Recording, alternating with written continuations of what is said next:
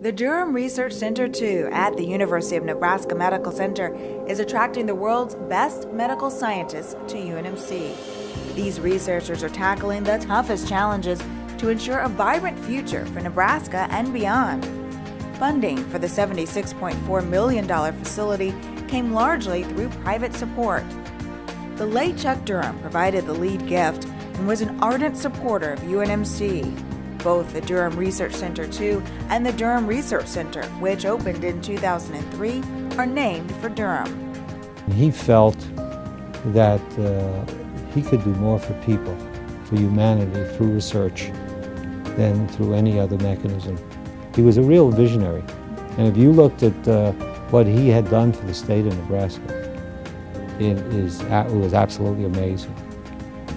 Durham's stamp of approval helped to convince others that UNMC was a sound investment. Other principal benefactors' gifts have helped propel UNMC to the forefront of research, education, and patient care. That's why we've been able to uh, build towards becoming a world-class academic health sciences center because of the contributions of these visionary people who are very generous with their hard-earned monies. They want us to do great things for the state of Nebraska. In the DRC2, physicians, scientists, and public health experts will collaborate to tackle some of the most perplexing diseases of our time.